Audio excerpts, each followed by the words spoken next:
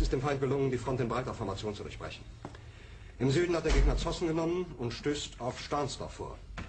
Der Feind operiert jetzt am nördlichen Stadtrand zwischen Frohnau und Pankow und im Osten ist der Feind bis zur Linie Lichtenberg-Marsdorf-Karlshorst gelangt. Mit dem Angriff Steiners wird das alles in Ordnung kommen. Mein Führer, Steiner. Steiner konnte nicht genügend Kräfte für einen Angriff massieren. Der Angriff Steiner ist nicht erfolgt.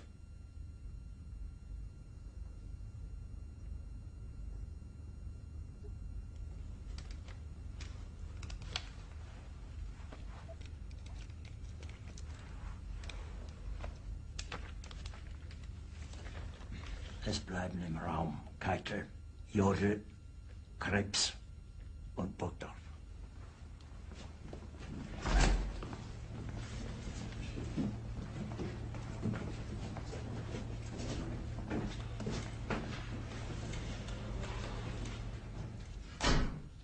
Das war ein Befehl!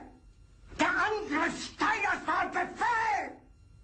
Wer sind Sie? Dass Sie es wagen, sich meinem Befehl zu widersetzen! So weit ist das also gekommen. Das Militär hat mich belogen! Jeder hat mich belogen, sogar die SS! Die gesamte Generalität ist nichts weiter als ein Haufen niederträchtiger, treuloser Feiglinge! Mein Führer, ich kann nicht zulassen, dass die Soldaten, die für Sie verbringen... Ist das Feiglinge! Verreiter, Versager! Mein Führer, was Sie da sagen, ist ungeheuerlich. Die Generalität ist das Geschmeiß des deutschen Volkes! Sie ist ohne Ehre! Sie nennen sich Generale, weil Sie Jahre auf Militärakademien zugebracht haben, nur um zu lernen, wie man Messer und Gabel hält! Jahrelang hat das Militär meine Aktionen nur behindert!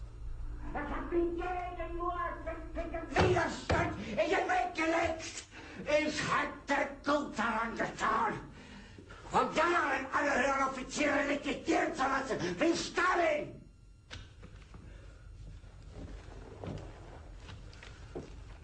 Ich war nie auf einer Akademie. Und doch habe ich allein, allein auf mich gestellt, ganz Europa erobert. Verräter! Von allem Anfang an bin ich so verraten und betrogen worden. Es wurde ein ungeheurer Verrat geübt am deutschen Volke. Aber alle diese Verräter werden bezahlen. Mit ihrem eigenen Blut werden sie bezahlen. Sie werden das saufen in ihrem eigenen Blut. Bitte gerne. Jetzt beruhig dich doch.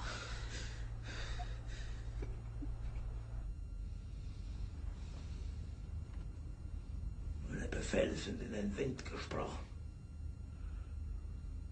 Es ist unmöglich, unter diesen Umständen zu führen. Es ist aus.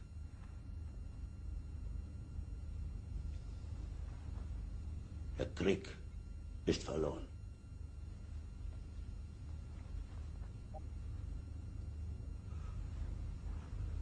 Aber wenn Sie, meine Herren, glauben, dass ich deswegen Berlin verlasse, irren Sie sich gewaltig. Eher jage ich mir eine Kugel durch den Kopf.